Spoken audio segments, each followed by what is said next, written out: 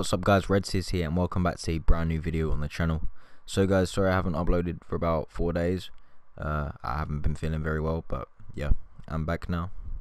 And uh, yeah, I'll be uploading most days and I'll be doing item shop videos like this one as well.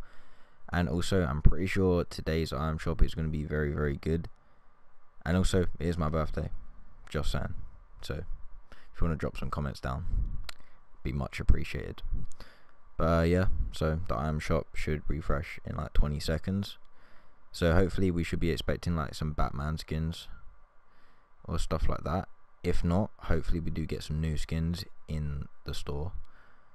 And maybe some new like uh, wraps and stuff and also some like axes and stuff like that. So without further ado, it's going to refresh about now. So let's see what we get.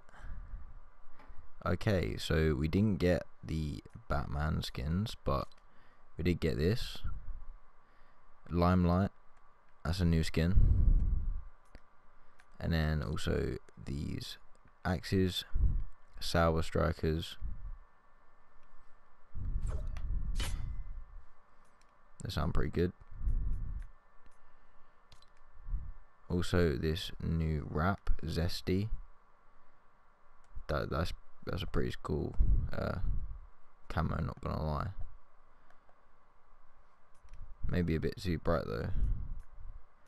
But yeah, also we've got these skins that have come back. And also a cloak sh shadow man. Signature shuffle, glitter, spark plug, revel that's about it for today's daily items. I think everyone did say that we are going to be getting some Batman skins, but if they're going to drop, obviously tomorrow maybe. But I thought they was going to drop today, but we have got this new Limelight skin and also the Sour Strikers. And yeah, look pretty cool, and the new Zesty camo looks pretty cool as well. So, thanks for watching this video, guys, and uh, yeah, this is the item Shot for today the 19th of September.